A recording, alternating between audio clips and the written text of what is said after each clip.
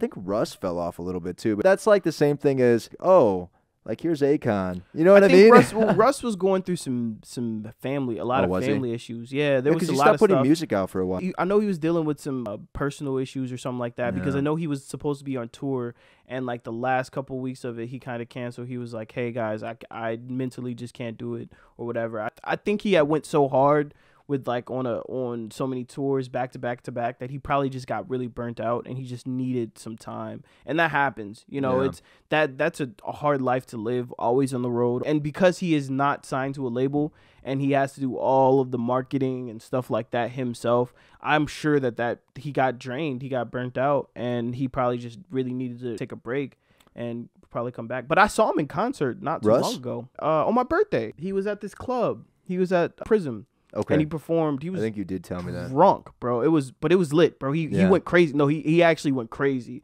He did such a great job. He was standing on the DJ table, and he he, he tripped, but he caught himself. But he was drunk, bro. Thing, did you see the video of Post Malone like busting his shit on stage? Yeah, dude, that You was saw that?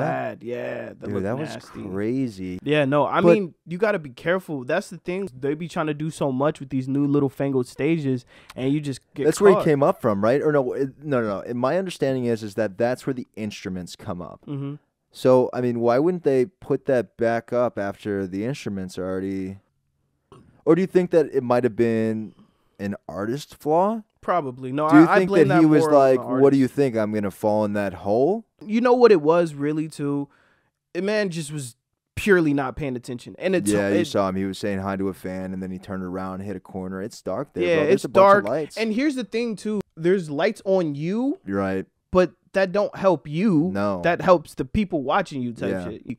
It's actually a lot more distracting than anything. It's one thing about performing that I think it was the hardest to adjust to was that the light in your face. It's that's why it's important wherever you are do a rehearsal if you're if possible, so you kind of get a feel of the stage and where everything is, so you don't fall. You know, and like you like as you see, that man looked like he hurt himself. He really, yeah, he did hurt himself. I, I don't know if it's like ribs were broken, but I know stuff was bruised. I know really something bad. with yeah, he he looked like but dude, like stars taking tumbles, oh it happens so much. I remember know. Beyonce, she was pregnant, nobody knew, but she there was this point where she was falling. She fell like a couple times. They were like, "What's going on? Maybe she lost it." And then everybody figured out she was pregnant. Like Whose baby was that? you know, it was Jay's. Oh, well, no, I don't think she's a cheater. You don't think they sleep around? Oh no, no, that man has admitted to doing it. Oh. He for sure. No, he said it in a song. he's like, "I'll fuck up a good thing if you let me. Oh, Leave me alone, Becky." he admitted he was like, "Yeah, I was um." Like, "I was cheating on my wife, fucking up my family." That's why uh, Shorty, uh, his, her sister beat his ass. Really? You don't, you don't remember that video? The mm-hmm. only video that I vividly remember, and I don't even remember who it was, is when this. I think he was a football player. oh Ray Rice. I know exactly what you're talking about. Ray Rice. shit. Yeah, bro. He out of this little like his wife, right? Yeah, right? it was his wife. Yeah. I mean, she was so tiny No, compared to him, the and the of her. elevator camera literally is showing it in black and white, and like literally dragged her out of the elevator, bro. This man, that man ruined his career like that. I agree with the NFL. Like he should have gotten suspended, and no team wanted to touch him, bro. Because video changes everything. You know, if it was just a oh he had this incident, he went to court, whatever, Yeah. he would have gotten suspended. Of course, he would have gotten suspended, but he would have got his job back. He would have played again.